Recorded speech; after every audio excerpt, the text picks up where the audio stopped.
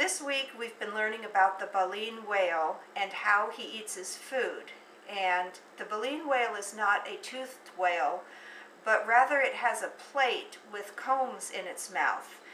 And to demonstrate how the baleen whale eats, we're going to take a tub of water and we're going to throw in food that would represent the krill and other things that the whale would eat.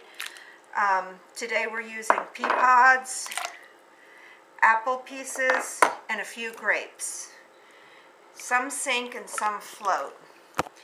Now you'd have to imagine that this is the baleen whale's mouth and this is the plate of comb that goes on him that is part of his mouth.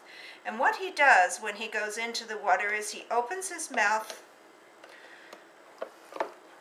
and he scoops the food and he gets a whole bunch of food, but he also gets a lot of water too. And what he does, he doesn't want to drink all that water, he will just close his mouth and the uh, plates in his mouth filter out the water but keep the food.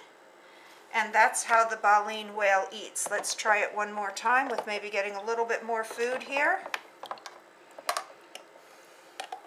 Again, he opens his mouth, closes his mouth, and this comb-like feature strains his food. And there's the baleen whale's lunch. Thank you for watching our video.